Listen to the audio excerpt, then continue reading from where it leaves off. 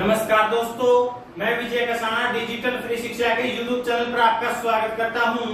दोस्तों, ये वीडियो सिर्फ़ और सिर्फ़ आपके लिए बनाया जा रहा है। आप मतलब जो भी कैंडिडेट एसएससी का सीईटी एग्ज़ाम देने वाले हैं, उनके लिए ये वीडियो है साथियों।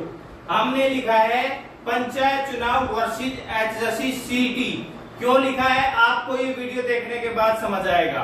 बेड़ा गर्क किसी और का नहीं, सिर्फ़ आपका हो रहा है दोस्तों। इस वीडियो के मकसद बनाने का यही है कि बार बार रोज़ाना ज़्यादातर हमारे पास कमेंट या सोशल मीडिया प्लेटफॉर्म से मैसेज करते हैं युवा साथी। वो पूछते हैं कि क्या चुनाव से एसएससी सीटी एग्ज़ाम समय पर हो पाएगा या फिर अगर ऐसे ही जो पंचायत चुनाव लेट होते जा रहे हैं तो क्या अक्टूबर, नवंबर तक पहुँच जाएँगे? यानी कि अपने एग्ज़ाम में कुछ गड़बड़ी होगी? या फिर आखिरकार पंचायत चुनाव कब होंगे? तो साथियों, आपको बता दें कि एसएससी सीईटी के एग्ज़ाम से रिलेटेड जो भी अपडेट होता है, वो हम सबसे पहले पहुँचाने की कोशिश करते हैं। ऐसा कोई अपडेट भी नहीं है। कि सीईटी का एग्ज़ाम नवंबर माह में ना लिया जाए।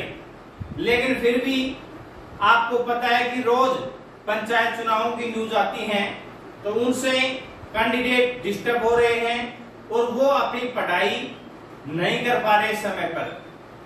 आपको ये भी पता होगा कि ज़्यादातर जो कैंडिडेट हैं, वो चुनाव में हिस्सा लेने वाले हैं। यानी कि वोट भी देना है, सरपंची का चुनाव है तो इसमें गाँव के कैंडिडेट इंटरेस्ट भी बहुत ज़्यादा लेते हैं।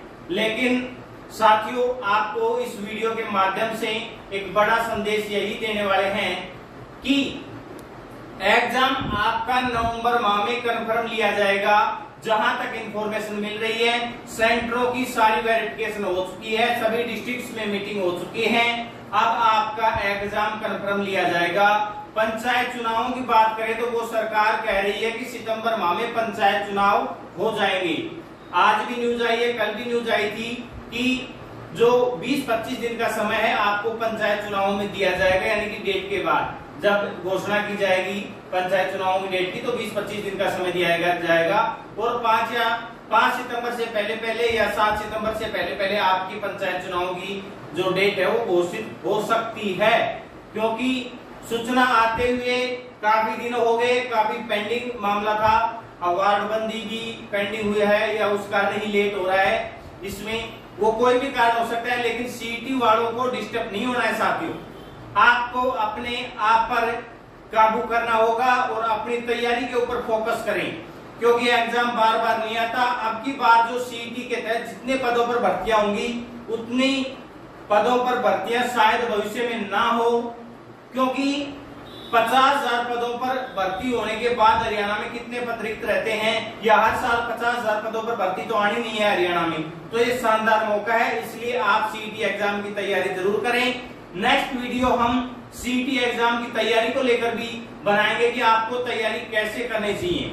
क्योंकि आपके पास सितंबर और अक्टूबर सिर्फ़ और सिर्फ़ दो महीने बचे हैं। तो आखिरी साठ दिनों के अंदर आप कैसे बेहतरीन तैयारी करके सिलेक्शन पा सकते हैं। वो भी हम वीडियो जल्दी ही लेकर आ रहे हैं। लेकिन साथियों, पंचायत चुनाव के बार बार मैसेज ना करो आप कि पंचायत चुनाव से आपका एग्ज़ाम समय पर होगा या नहीं होगा।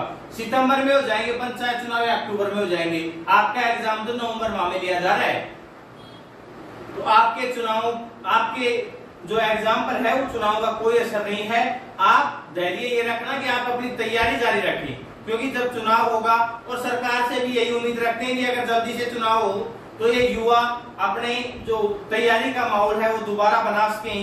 सितंबर माह में भी अगर चुनाव हो जाएगा तो आखिरी एक महीने में बेहतरीन तैयारी कर सकते हैं, क्योंकि चुनावों के जो आखिरी में चुनावों की डेट फिक्स हो जाएगी तो साथियों, थोड़ा डिस्टरबेंस ज़रूर होगा युवाओं को।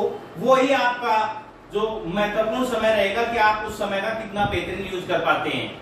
आपका ज़्यादा समय नहीं लेते हुए मैं बार बार यही कहना चाह रहा हूँ कि आप बार बार मैसेज ना करें कि पंचायत चुनावों से हमारा एग्ज़ाम समय पर होगा या नहीं होगा। आपका एग्ज़ाम समय पर होने वाला है। आप अपनी तैयारी जारी रखें। ऐसे ही बेहतरीन अपडेट के लिए चैनल को सब्सक्राइब कर सकते हैं। अपना महत्वपूर्ण समय देने के लिए बहुत बहुत धन्यवाद। जय हिंद।